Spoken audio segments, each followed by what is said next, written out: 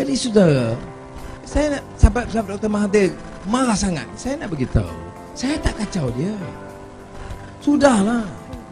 Yang kena pukul saya Mahathir bukan kamu. Yang masuk penjara saya. Yang kena telanjang saya.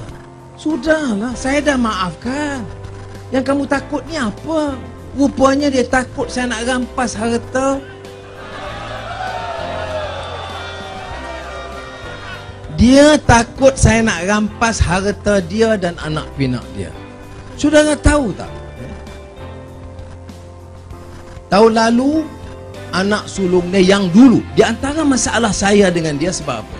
Dia nak bagi 2 bilion ringgit kepada anak dia Mirzan Mahathir nak selamatkan MISC syarikat perkapalan yang nak bankrupt.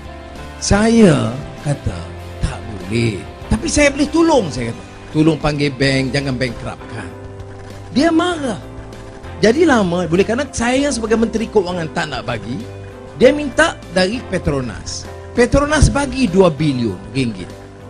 2 bilion ringgit kepada Mirzan Tun Mahathir bailout. Ya. Orang UMNO nak sokong-sokong, tak ada masalah. Tapi dia kena faham. Jadi antara sebab saya kena pecat, ini.